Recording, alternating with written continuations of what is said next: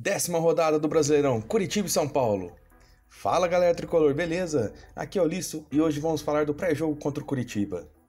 A evolução do trabalho de Rogério Ceni no comando do time do São Paulo é nítida. São 13 jogos sem perder.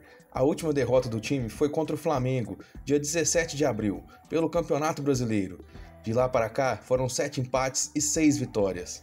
Mesmo com a invencibilidade do time, a desconfiança por parte da torcida é gritante nas redes sociais muito pelos três últimos empates pelo Brasileirão, onde jogamos muito bem os primeiros tempos dos jogos, saindo à frente no placar, e nos segundos tempos acabamos cedendo o empate por inúmeros fatores: arbitragem ruim, diminuição da intensidade, falhas individuais e coletivas, enfim, sempre acontecia algo que nos separava de subir na tabela e manter vivo o objetivo traçado para a temporada, que seria a vaga direta para Libertadores através do G4 do Campeonato Brasileiro.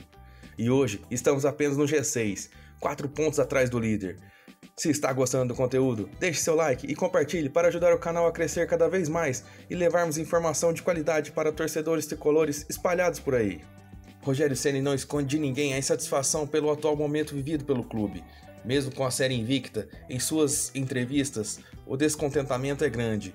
E nesta quinta-feira terá mais uma chance de mostrar que o trabalho está em evolução e pode render bons frutos no futuro. Porém, a tarefa será difícil, o Coritiba, adversário da próxima rodada do Campeonato Brasileiro, é o único time 100% no campeonato, jogando como mandante, com 4 jogos e 4 vitórias. E o São Paulo é um dos piores times jogando longe de casa no Brasileirão, com 5 jogos, sendo 4 empates e uma derrota. O histórico do confronto é favorável ao São Paulo. Foram 53 jogos, com 15 vitórias para o Curitiba, 16 empates e 22 vitórias para o São Paulo marcou 80 gols e sofreu apenas 68. Os dois últimos duelos entre os times foram no Campeonato Brasileiro de 2020, sendo dois empates pelo mesmo placar, 1 a 1. Os desfalques para a partida são Arboleda, convocado para a seleção do Equador, Nicão e Sara, ainda entregues ao departamento médico, Colorado e Alisson, ainda são dúvidas.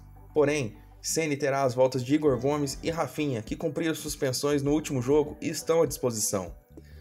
Com a boa atuação de Miranda no último jogo, a formação com três zagueiros deve ser mantida, e uma provável escalação seria Jandrei para o gol, Rafinha para a lateral direita, Diego Costa, Miranda e Léo formando o trio defensivo, Wellington para a lateral esquerda, Igor Gomes, Nestor e André Anderson deixando o meio-campo mais móvel e com bom controle de jogo, e a dupla Caleri e Luciano, que vem melhorando o entrosamento jogo a jogo. Este duelo entre Curitiba e São Paulo pela décima rodada do Campeonato Brasileiro você assiste pelo pay-per-view do Premier, do Grupo Globo, às 20 horas desta quinta-feira, 9 de junho. Os dois times estão com 14 pontos e uma vitória para o tricolor seria essencial para continuar a briga pelo título.